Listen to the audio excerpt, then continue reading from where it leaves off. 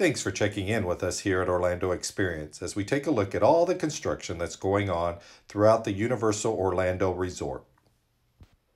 But before we get started here at looking at all the construction that's going on, we'd like to do a shout out to Bio Reconstruct on Twitter for giving us permission to use some of his aerial photography.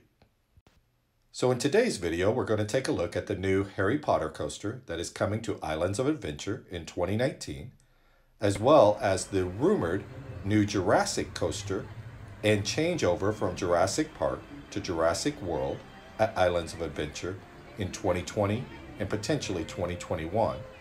Then we will head over to the Universal Studios Park and take a look at some of the changes that are taking place there, including the replacement for the Terminator 2 attraction. After that, we'll take a stop at City Walk and take a look at a new restaurant that is coming as well as a look at the huge new Endless Summer Resorts.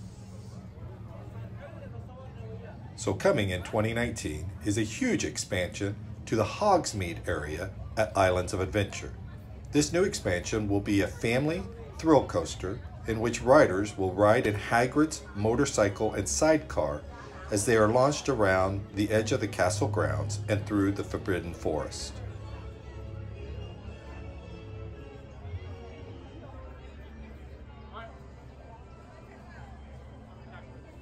During this ride, riders will enter Hagrid's hut where they will encounter magical and mystical creatures of the wizarding world.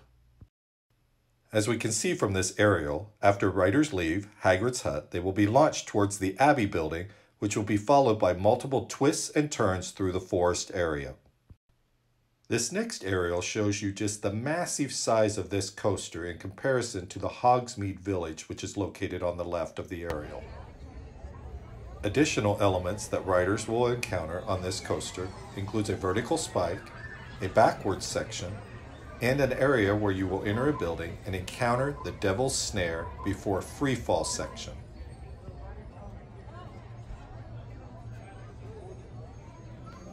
The Potter is not the only construction you will encounter at Islands of Adventure, as construction walls have just recently went up throughout a large section of Jurassic Park for a rumored new Jurassic coaster.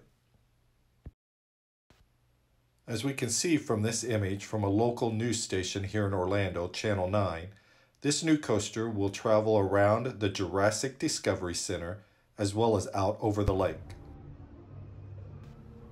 Additional rumors about this coaster is that it will be a multi-launch coaster with inversions from Intamin. Additional speculation is that the entire land of Jurassic Park will be transitioned over to Jurassic World with the addition of the new coaster, a renaming of the children's play area, and an update to the Jurassic River ride.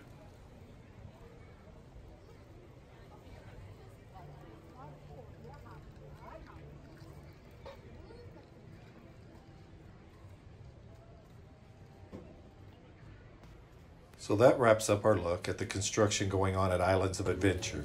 As you can see, there's a lot happening and a lot of changes are coming to this park over the next two to three years. So next, let's head over to the studio park and take a look at all the construction that's going on, including some new construction walls that just recently went up in front of the bakery and cafe located near the front entrance of the park.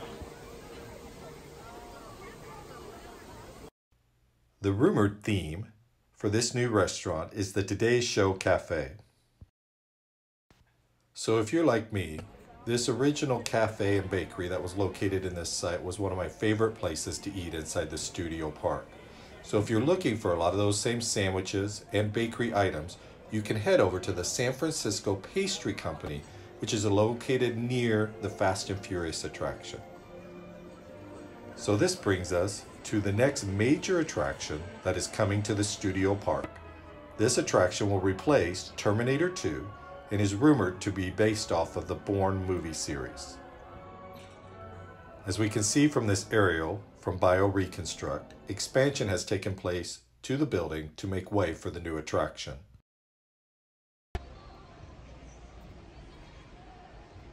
Our next stop is in City Walk at the original Emeril's restaurant which is being remodeled and is rumored to become the Big Fire Grill.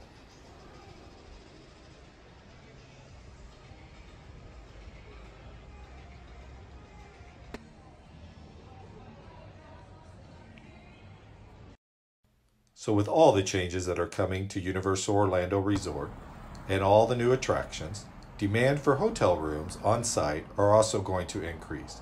So Universal is also building two new resort hotels that are themed to Endless Summer. The first hotel, known as Surfside Inn, will open in August of 2019, with the second hotel, Dockside Inn, opening in May of 2020.